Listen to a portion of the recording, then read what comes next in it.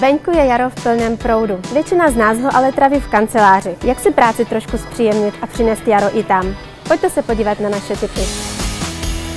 Pokud máte v práci přísnější dress code a nemůžete si úplně dovolit extravagantní blůzu nebo kostýmek, vsaďte nevýrazné boty. Jestli je kostýmek něco, co nosíte do práce často a rada, zkuste tuto letošní sezónu něco velmi výrazného. Troufněte si na kostýmek, který je printový, nebo například šatový, anebo je to overall. A nezapomeňte na doplňky. I ten nejklasičtější kostýmek dokáže velmi zvýraznit. My ženy si můžeme dovolit jednu velmi zajímavou věc. Když se nám ráno nechce vůbec přemýšlet podle sebe, vezmeme si jednu věc a jsme hotoví. Jsou to šaty. Do kanceláře se hodí šaty s dlouhými rukávy a délkou pod kolena. Když jdete do práce, nechte velké výstřihy a velké vzory stranou a vemte spíš něco tlumeného.